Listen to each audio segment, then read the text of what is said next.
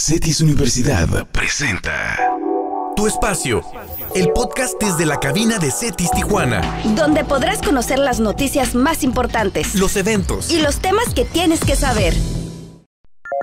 Hola a todos los que nos escuchan, bienvenidos a Tu Espacio, el podcast de estudiantes para estudiantes de, Uni- de CETIS Universidad Campus Tijuana.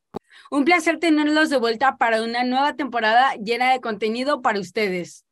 Pues yo estoy muy emocionado, muy contento de estar aquí con todos ustedes, esperando que los nuevos episodios que tengamos les gusten, les parezcan entretenidos y si quieren que hablemos de algún tema aquí en esta temporada o en las próximas, háganoslo saber eh, por los comentarios. Y pues, ¿qué les parece si empezamos con nuestro invitado? Empezar de lleno con el tema, ¿no? El profesor, el maestro Arturo Medina, docente de preparatoria aquí en CETIS Tijuana, que además de dar clases, también cuenta con un proyecto, Cápsula Channel, en el cual promueve la divulgación científica llegando a hacerlo en lugares como Cancún, Vallarta y próximamente en otros estados de México. ¿Cómo está, profesor? ¿Cómo Muy bien, muy encuentra? bien. Muchas gracias, Chris, por la invitación. Yo encantado de estar aquí en el podcast y hablando de lo que nos gusta, que es la Sí. ciencia, la divulgación y compartir el conocimiento, ¿no? Entonces, Sí. muchas gracias.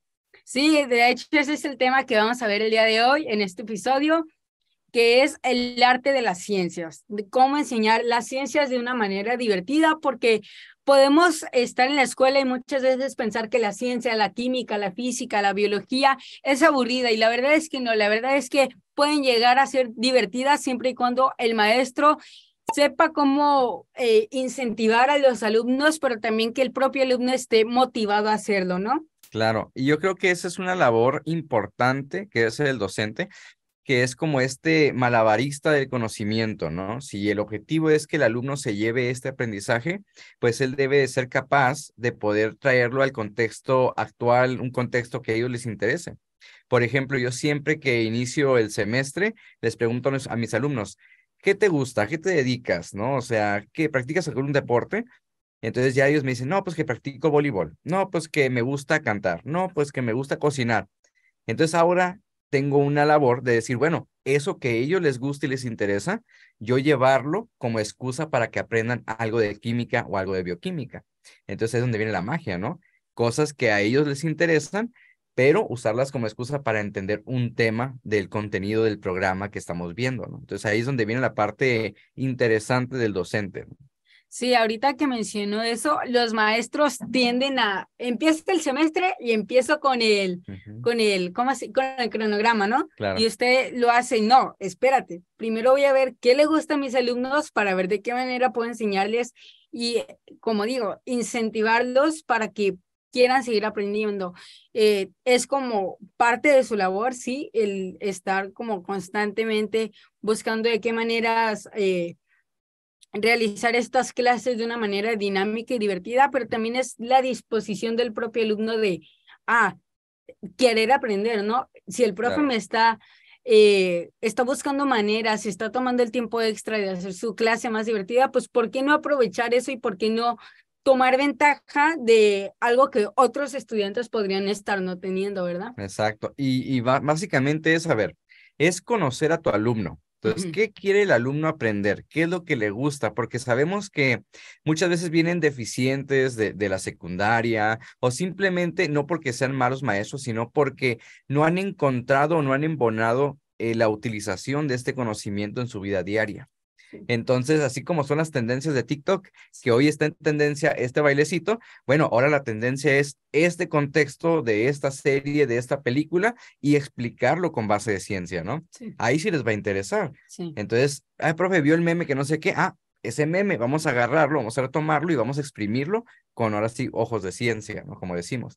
Entonces, sí es muy importante la labor del docente que sea capaz de poder traer estas tendencias a interés de los alumnos, pero del lado de, de la ciencia. ¿no? Sí, desde una perspectiva divertida, ¿no? Claro, Y pues hasta cierto punto las, la ciencia también se llega a relacionar con las artes, ¿no? Hay, hay, hay estudios que demuestran, por ejemplo, las pinturas tienen ciertas estructuras que se relacionan con las matemáticas, con la física, en la animación, ¿no? La animación no podría ser, no podría existir sin las bases de la física, sin las bases de la gravedad, ¿no? O sea, ahora sí que la ciencia se relaciona hasta con lo mínimo que podamos pensar, con esta pared, con el micrófono, con la computadora. Sin la ciencia no estaríamos haciendo esto que, que estamos haciendo ahorita. Entonces se me hace muy interesante cómo la ciencia está en todos lados, ¿no? Y el ser humano sigue expandiendo sus conocimientos y sigue creando nuevas herramientas para expandir estos propios conocimientos, ¿no? Ahora, ¿qué hace tan especial a la ciencia? ¿Qué tan, ¿Qué tan difícil puede ser hacer ciencia? Es complejo en cuestión de que es demasiado conocimiento. Sí. Pero es muy divertido. Una vez que tú le encuentras el enfoque de decir, bueno, me interesa esto en, especial de la ciencia, uno lo puede empezar a ligar con su vida diaria y deja de ser difícil y se torna interesante. Y cuando es algo es interesante, pues va a indagar, uno va a buscar, se va a aventar todos los videos de YouTube acerca de, ese, de esa rama que le está interesando, ¿no? O sea, cuando algo tiene interés, solito fluye. Y no tengo que agarrar al, al alumno de que, no, tienes que aprender esto y ven y órale. No, no, o sea, ya tiene el interés, solito van a buscar. Quiero saber mis alumnos también.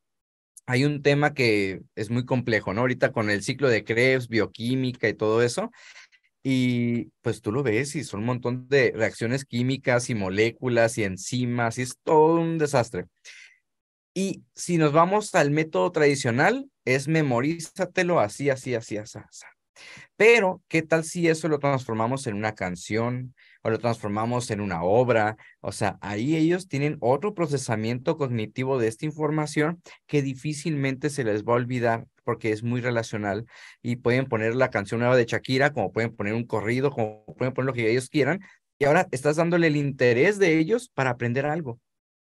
Entonces ahí es donde entra la magia de vuelta, ¿no? Entonces, es difícil, sí, por todo el contenido, pero no es imposible y uno como docente tiene que hacerlo atractivo y accesible para que el alumno solito fluya, ¿no? Sí, de esta manera se le queda pegada la canción, como usted dice, en la cabeza, porque ¿de qué sirve aprenderme toda una lista de los diferentes ciclos de Krebs si nada más estoy memorizando y a la hora de la hora, no sé ni qué estoy diciendo, se me va a olvidar en cinco minutos, me voy a trabar, etcétera. Entonces, con una canción estás repitiendo la melodía, estás, ah, recuerdo que con esta, en este verso estaba esta imagen, y entonces vas ligando.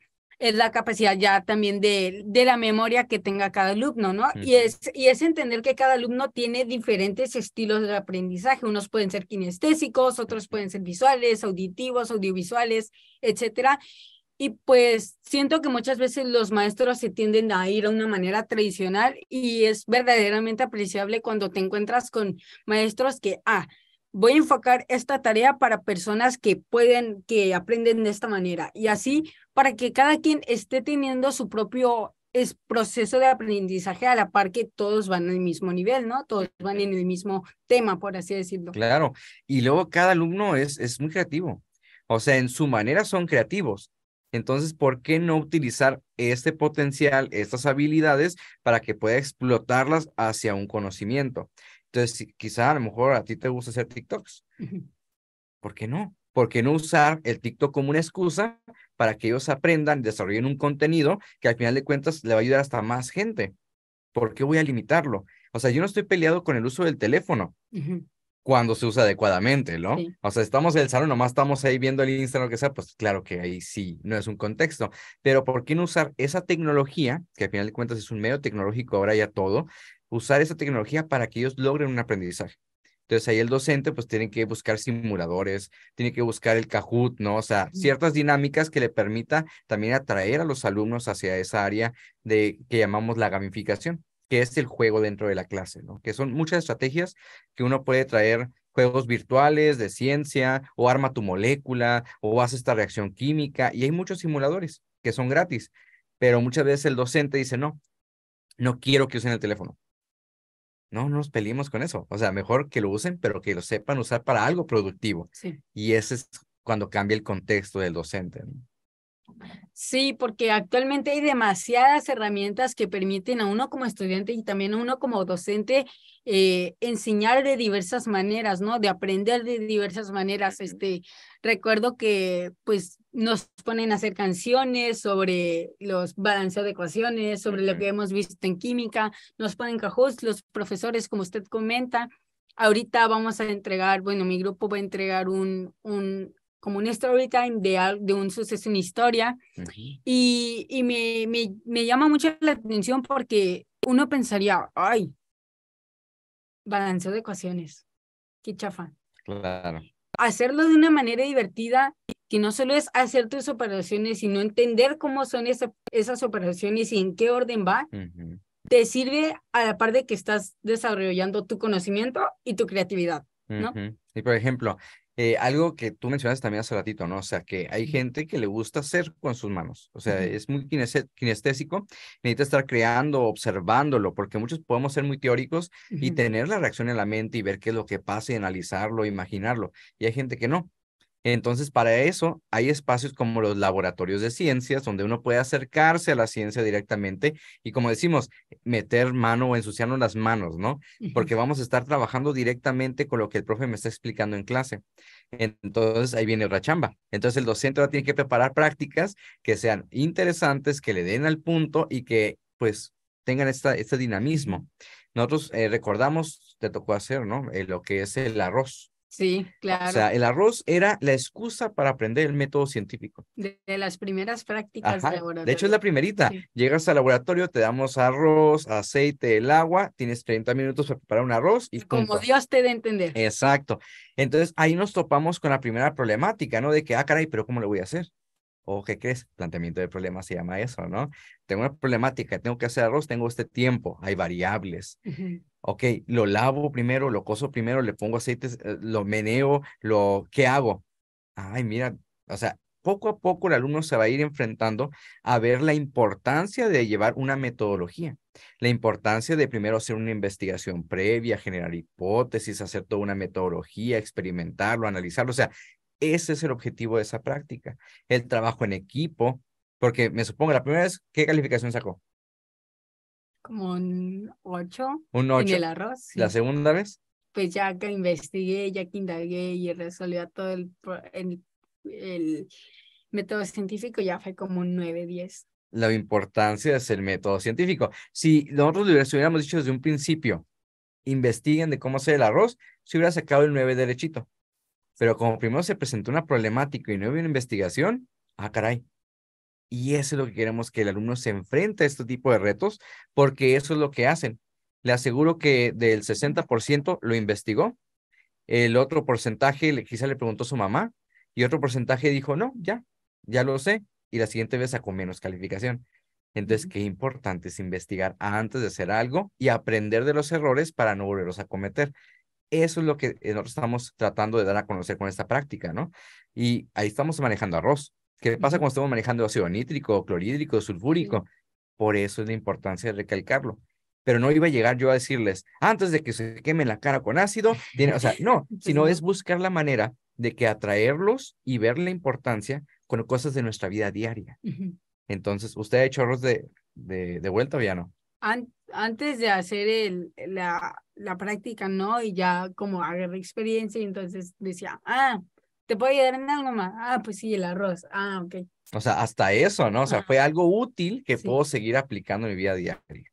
O los temas, como mencionó, la configuración electrónica. Ujú. 1S2, 2S2, 2P6, CS2, CP6, todo este rollo de números y letras, pues, ¿por qué no aprenderlo divertido con un juego de Battleship?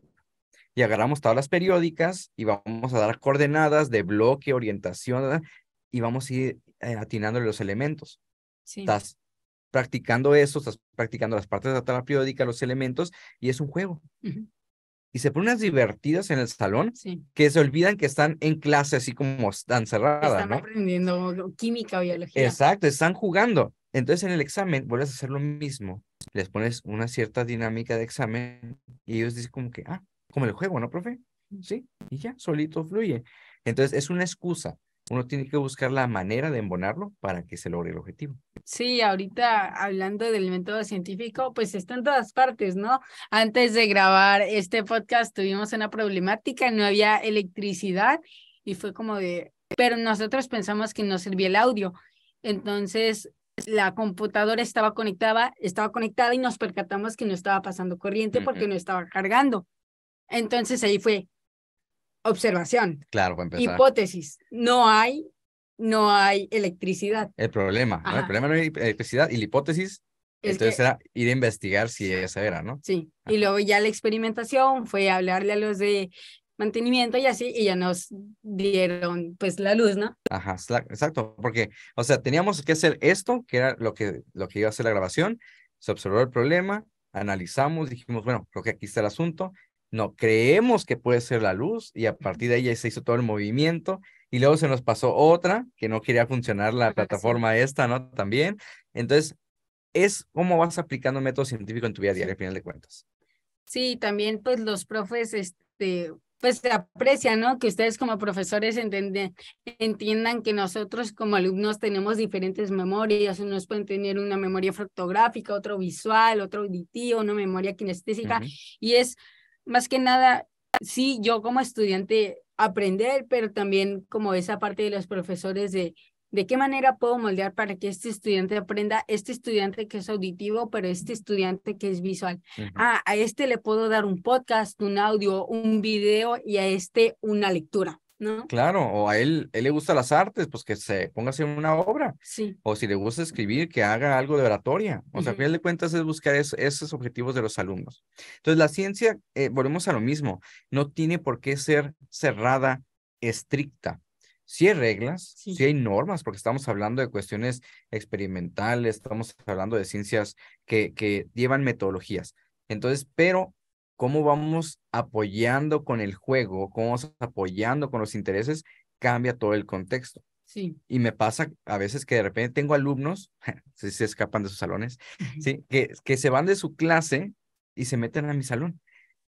Y yo así como, pero ¿por qué? Y es como, ah, es que me gusta cómo enseña, profe. Y ya vi que están jugando y nosotros no estamos jugando acá. Y así como, híjole, o sea, tampoco le puedo decir, no, no puede entrar porque quiere aprender, ¿no? Sí, Entonces es como que, híjole, bueno, vamos a hacer un, un- Bueno. un balance, ¿no? Vamos a ver con Sí. quién es allá y platicamos a ver qué pasa para poder balancearlo. Pero es eso, una vez que ya los enganchas, ni siquiera el maestro se esfuerza tanto. El alumno ya te lo pide automáticamente. Y esa es la parte chida. Sí, cuando menos yo en lo particular, sí era como de, ah, la presentación de las células eucariotas y procariotas. Bueno, vamos a tomar apuntes, pero ya que ya llegaba a la práctica de laboratorio, ya que ya había hecho toda mi investigación, yo me sentía preparado, emocionado de, ah, voy a ir a ver las células, ya no las voy a ver con las fotos que me dio la profe, sino con mis propios ojos. Claro. ¿no? Y ya llegabas al laboratorio bien emocionado, cortas la plantita, la metes, le pones tal líquido para que se vea en el microscopio, lo ves y es como de, no todo tiene que ser aburrido, no todo tiene que ser una presentación de PowerPoint, no todo tiene que ser visual, o, o sea, teórico, también puede ser práctico a la par que vas aprendiendo, porque uno pudiera decir, bueno, en los dos estás viendo, pero en uno estás experimentando, en uno Claro. estás practicando y el otro nada más te están dando las bases.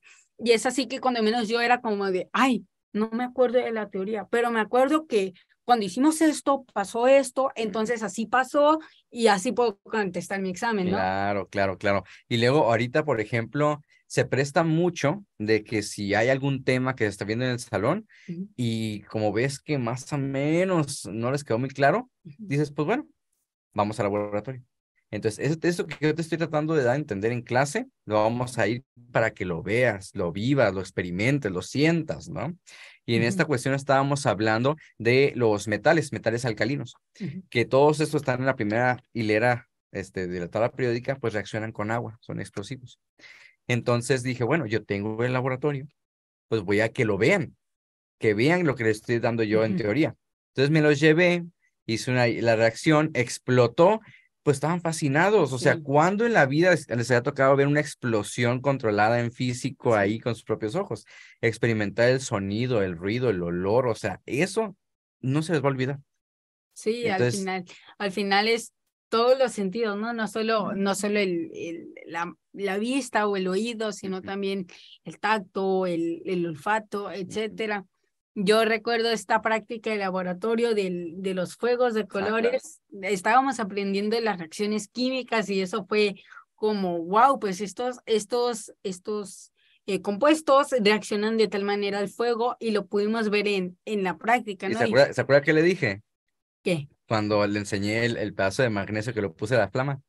Lo del efecto patrón. Aspecto Petronos, ¿no? Entonces, al final de cuentas, el, el, el rollo era ver los espectros de emisión, o sea, cómo esos electrones excitados sacaban y, y daban esta, esta luz. Pero ahora si lo ligamos con el espectros Petronus, que es lo que vemos en Harry Potter, la lucita blanca que avienta Sí. el hechizo, uno puede jugar hasta con eso, ¿no? Sí, Entonces, se les, no se les va a olvidar tan fácil. no. Entonces, ese es el punto. El maestro debe saber en qué momento puede ser, sacar esas tendencias o eso de, de cultura general Sí. popular, ¿no? Y aterrizarlo para que el alumno se le pueda quedar. Sí, ahora bien, ¿qué tan importante llega a ser el estudio de la ciencia? ¿Qué? Muy importante, importantísimo.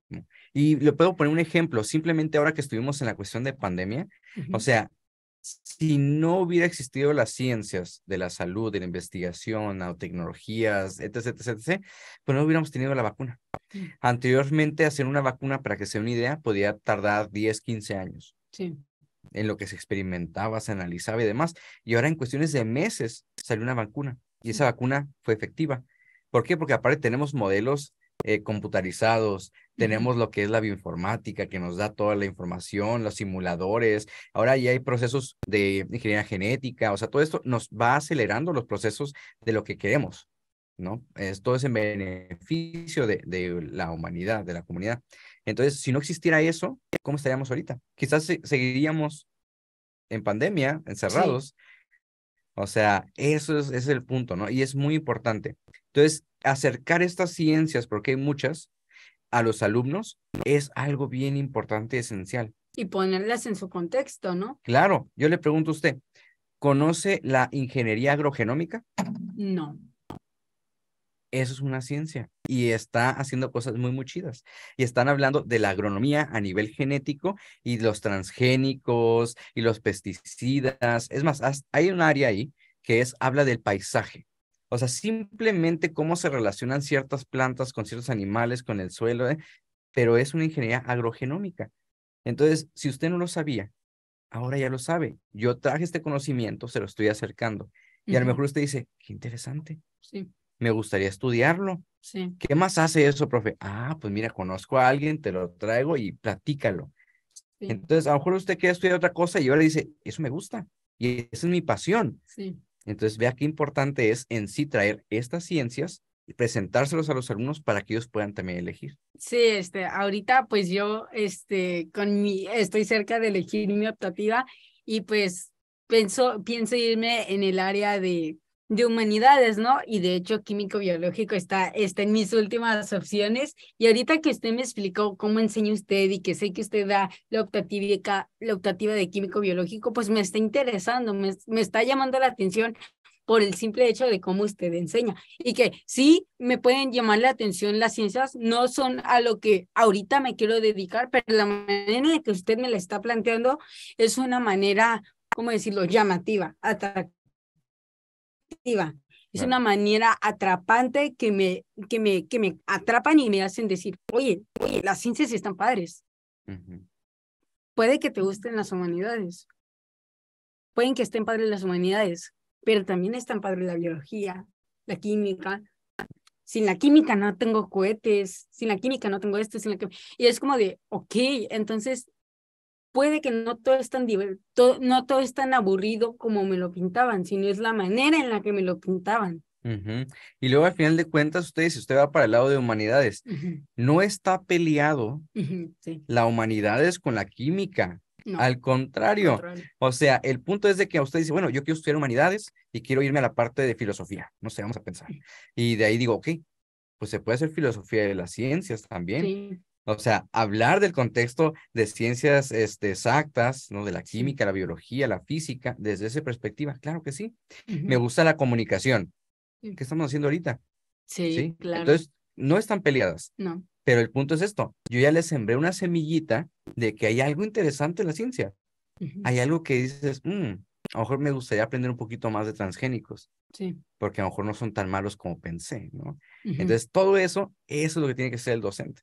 Traérselos, presentárselos para que ellos también generen esta nueva asombro, esta nueva curiosidad, investiguen y pues hagan cosas que les interese y les haga feliz y les llene, ¿no? O sea, sus metas personales también. Sí, este, se tiene esta creencia o este, por así decirlo, prejuicio de que, ah, los hombres hacen ciencia. Y la verdad es que no, la verdad es que las mujeres también pueden hacer ciencia. Entonces, ¿cómo usted promueve las ciencias tanto en hombres como mujeres, en adolescentes, eh, haciéndoles ver que mm, la ciencia no tiene, no va dirigida a un género en específico, sino puede ser para varias personas? ¿Cómo usted promueve el estudio de las ciencias y de qué manera lo hacen? Claro, o sea, se necesita dar la visualización de que la mujer es muy importante. Ya ha habido muchas científicas en toda esta área de la historia de la ciencia que han estado participando y no se les ha dado esta visualización. Es importante. Le pongo de un ejemplo. Del club de ciencias que coordino, fácil, eh, yo creo que un 70, 80% son mujeres. Wow.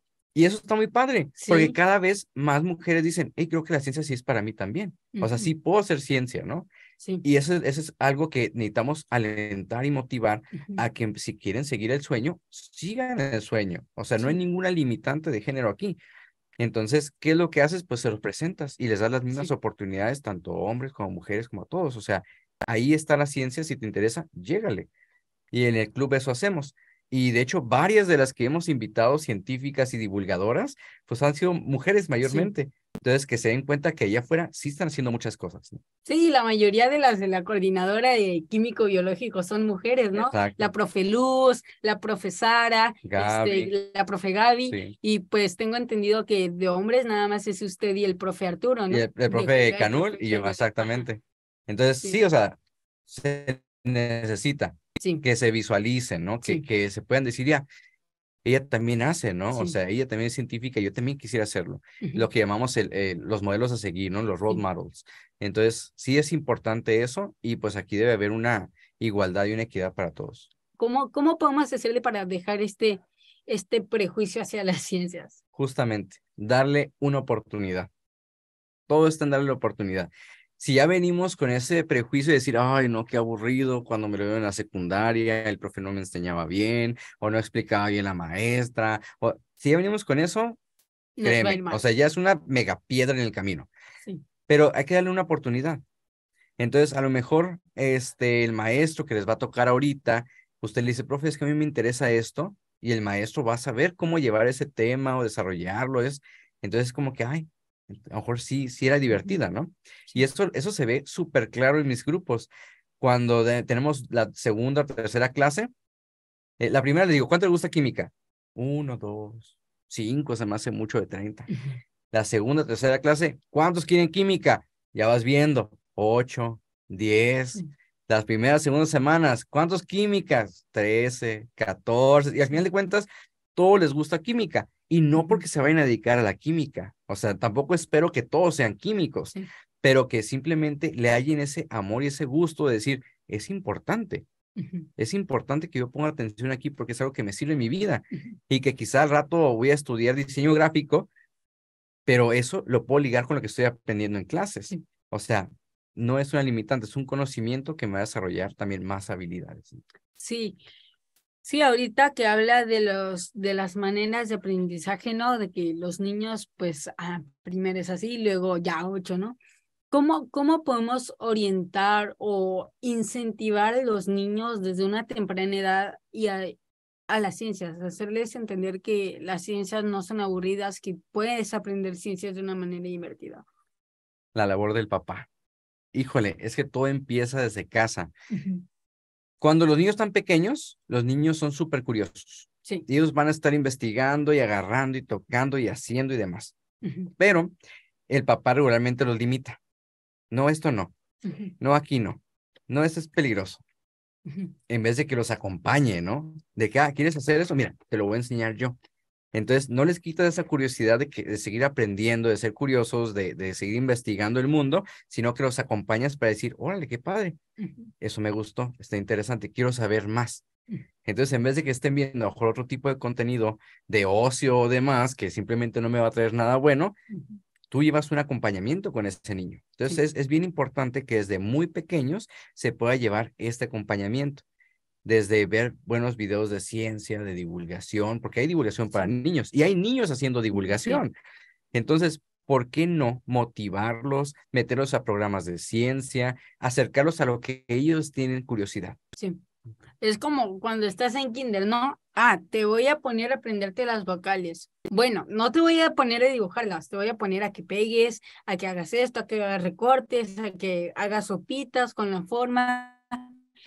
Y es como de incentivas al niño a que esté aprendiendo a la par que se divierte, ¿no? Ahora bien, quiero enseñarle, yo qué sé, el, el modelo del ADN. Bueno, le voy a traer un modelo, le voy a decir, ármalo tú, vas con la citosina, la adenina, la guanina, la timina, es ahí donde el estudiante, bueno, ya lo aprendí en la teoría. Entonces, la, la citosina iba con la guanina, la adenina iba con la timina.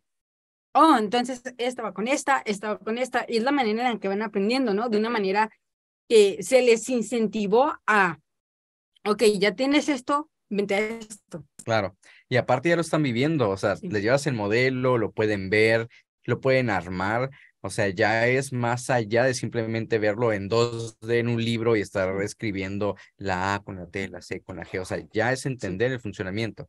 Y si nos vamos todavía aún más, podemos llevarlo a entender mutaciones genéticas a través de eso que es muy básico. O empezar a entender cómo se forman nuevas proteínas para enfermedades o para vacunas a partir de eso. Entonces, cuando empiezas a aplicarlo así, es mucho más llamativo y no nomás lo que dice el libro. Ya lo llevas a otro contexto que lo sacas de ese libro y es como, órale, no sabía que eso me iba a servir para eso. Sí. Y ahí está chido. Y ahora usted qué dice, cuando, cuando despierta la, la curiosidad de los alumnos, ¿cuál, ¿cuál es el tema que considera que es o qué considera en general de las ciencias, qué es lo que más emociona a los niños que, o a los adolescentes, qué es lo que ¿Qué es lo que más le, les divierte y les emociona y los hace sentir más curiosos? Todo de su entorno, especialmente en la materia de bioquímica que doy, el cuerpo humano. Les encanta saber sobre el cuerpo humano, cómo funciona, el por qué funciona así. Yo les digo, es que el cuerpo humano es tan perfecto que todo tiene un porqué de ser así. Y cuando lo empiezan a entender, se emocionan tanto que ahora yo me siento como que, ah, caray, tengo que meterle más, todavía porque me están exigiendo mis propios alumnos. Entonces ahí es donde entra la parte del docente de decir, hey, necesito yo prepararme todavía más o buscar otras estrategias porque ellos lo necesitan. Sí. Sí, claro, porque pues tengo entendido que la mayoría de los que están en químico biológico se piensan ir a medicina y entonces es como de, oh, wow, y empiezas a tener una mayor curiosidad y una, más, una mayor pasión por lo que por lo que te quieres dedicar, ¿no?